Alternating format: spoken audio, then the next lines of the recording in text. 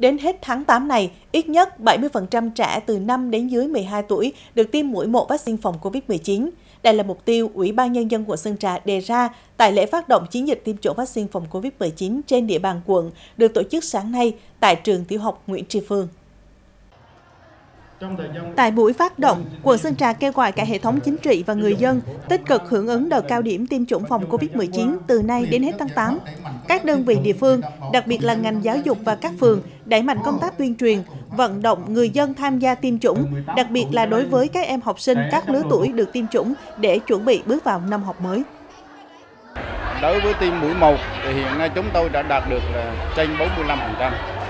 và mũi 2 thì à, chúng tôi đạt được à, cho khoảng 23%. Những trường mà hiện nay có tỷ lệ tiêm vaccine thấp thì giao trách nhiệm cho chính quyền địa phương tổ chức hưởng ứng phát động chiến dịch vaccine tại từng trường để làm như thế nào đó vận động phụ huynh để đưa học sinh ra tiêm chủng để đạt cái tỷ lệ cao nhất trước khi vào năm học mới.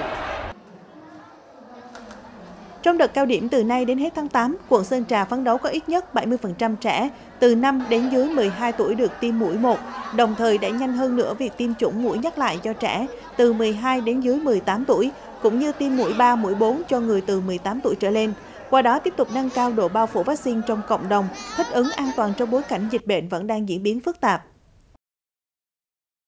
Cháu đầu năm nay lên lớp 6 thì tôi đã cho cháu đủ tiêm hai mũi còn cháu thứ hai thì ờ, cháu tiêm một mũi và chuẩn bị sắp tới thì ờ, tôi sẽ cho cháu tiêm mũi thứ hai. Thực tế sau phát động sáng nay tại điểm tiêm chủng được tổ chức tại trường tiểu học Nguyễn Tri Phương cho thấy đông đảo phụ huynh đã chủ động đưa con em mình đi tiêm chủng.